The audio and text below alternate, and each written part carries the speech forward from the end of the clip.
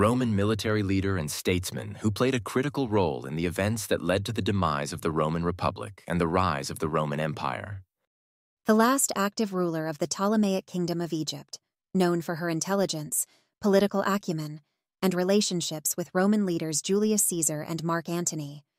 King of Macedonia, who created one of the largest empires in ancient history, spreading Greek culture across three continents. Chinese philosopher whose teachings on ethics, politics, and morality greatly influenced Chinese culture and East Asian philosophy. Italian polymath of the Renaissance who made contributions to art, science, engineering, anatomy, and more, famous for works like the Mona Lisa and the Last Supper.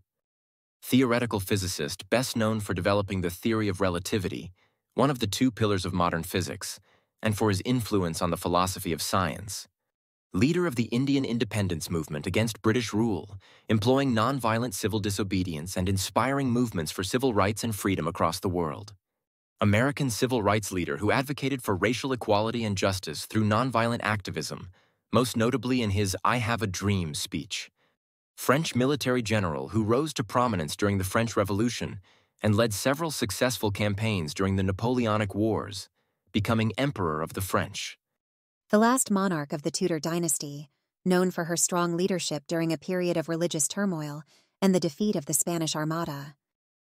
British Prime Minister during World War II, known for his leadership and stirring speeches that inspired the British people during their darkest hours. South African anti-apartheid revolutionary who became the first black president of South Africa, known for his role in dismantling apartheid and fostering reconciliation.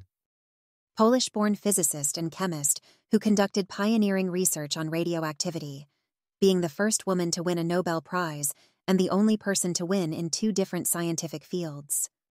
The first President of the United States and one of the Founding Fathers, known for leading the American Revolutionary War and shaping the early United States.